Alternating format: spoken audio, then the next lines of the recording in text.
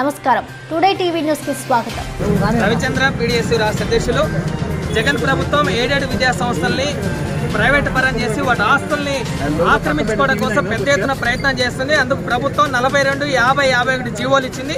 ఈ జీవోల ఉద్దేశం ఏడేడు విద్యా సంస్థలు ప్రైవేట్గా మారితే ప్రైవేట్గా మారిన ఫలితంగా విద్యార్థులకు ఫీజుల భారంగా పెరిగే ప్రమాదం ఉందని చెప్పేసి కాబట్టి ప్రభుత్వం బేషరతుగా నలభై రెండు యాభై యాభై ఒకటి జీవోల్ని తక్షణమే రద్దు చేయాలి.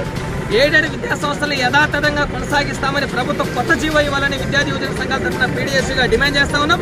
ప్రభుత్వం అసెంబ్లీ సమావేశాల సందర్భంగా ఏడేడు విద్యా సంస్థల్ని కొనసాగిస్తున్నట్లు ఒక చట్టం చేయాలి జీవో పాస్ చేయాలని చెప్పేసి విద్యార్థి సంఘాలు డిమాండ్ చేస్తా ఉన్నాయి. ప్రభుత్వం నాలుగు ఆప్షన్స్ ఇచ్చి చివరికి బిల్లింగ్ అడుగుతా ఉన్నారు. మీరు ఎవరైతే టీచింగ్ నాన్ టీచింగ్ కావాలని అడుగుతారో వారికి ఫ్యాకల్టీని సరెండర్ చేస్తామని ప్రభుత్వం ఆప్షన్ ఫోర్ ఇచ్చింది. కానీ దీనివల్ల ప్రమాదం ఏంటంటే మళ్ళీ యాజమాన్యాల ఇష్టాయిష్టాలకు వదిలేసింది. అలా వదిలేయకుండా ప్రభుత్వం ఏడేది యథాతథంగా కొనసాగిస్తున్నట్లు ప్రకటించాలి.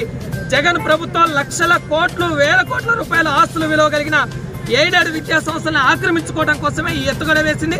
దీన్ని ఇకనైనా ప్రభుత్వం విరమించుకొని నలభై రెండు యాభై యాభై ఒకటి జీవోల్ని తక్షణమే రద్దు చేయాలి. ఏడేడు పరిరక్షణ కోసం కొత్త జీవో ఇవ్వాలని పీడీఎస్సీగా ప్రభుత్వాన్ని డిమాండ్ చేస్తా ఉన్నాం. లేని పక్షాలు ఈ ఆందోళన మరింత తీవ్రతరం చేస్తాం. ఈ రోజు ఇక్కడ నుంచి చలో అసెంబ్లీకి బయలుదేరి వెళ్తాం ప్రభుత్వం దిగివచ్చి అసెంబ్లీలో ప్రకటన చేయాలని చెప్పేసి సీఎం జగన్ని మీ విద్యాసంఘాల తరపున ప్రభుత్వాన్ని పీడిఎస్ డిమాండ్ చేస్తుంది. ప్రతిక్షణం ప్రజాపక్షం.